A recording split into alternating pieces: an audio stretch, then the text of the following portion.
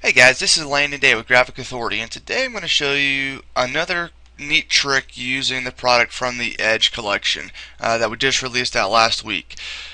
People think of using the edges as a border to put around your photos, which is very, very true. Last week I showed you how you can use those borders to make album spreads, um, but today I'm actually going to show you how to use it to make a text box on your photo itself. Um, text is something that I know I struggle with, and this is just a way to make things easier to be read and, and really stand out at the same time. So what we're going to do is we're going to put a text box on this photo of this girl right here. Using this file, using my arrow tool, we're just going to click it and drag it on top of here. And it's got this nice little swirly kind of pattern going on, right?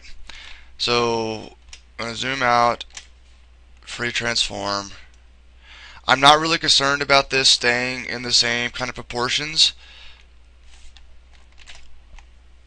because there's nothing in it. I don't have to worry about head stretching or anything to that extent. But I'm going to put something sort of like so. Maybe we even make it long and skinny, It goes all the way across the bottom. I'm not really concerned, like I said, about it distorting. So we look something sort of like so, and we'd have this edge going around now. So, going back to uh, the photo, or, and what I'm going to do is I'm going to drop a background onto this uh, this clipping mask just to help separate it out a little bit. What I'm going to do first is I am going to make sure that this background matches this photo way all these are set up in layers, I need to do this before I actually drag it over. So if I double click on the color box, and then click on a color in the photo, just to make sure things are matching right, uh, somewhere like that color, there's fine. Click OK. Now I'm going to flatten this, which is going to be Control Shift E, which is also Merge All, which is up here on your image, uh, and up under Layer, merge visible. Sorry, Control Shift E is merge visible.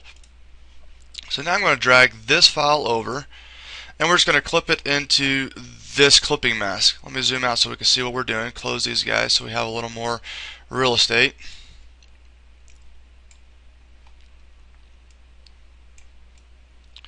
So there it is, and if I hold Alt and click between these, you see how it makes that arrow with the two circles.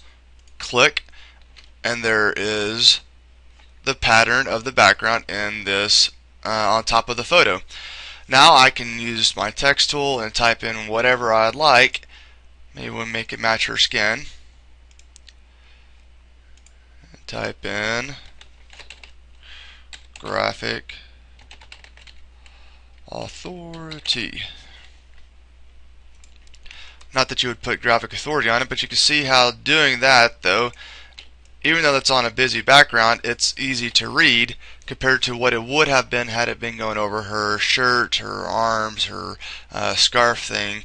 It makes it nice and easy to read. So this is just a real quick way to use your Edge collection as a text box to give your photos and your text a different look with a different style and kind of make things stand out a little bit. Have a great day.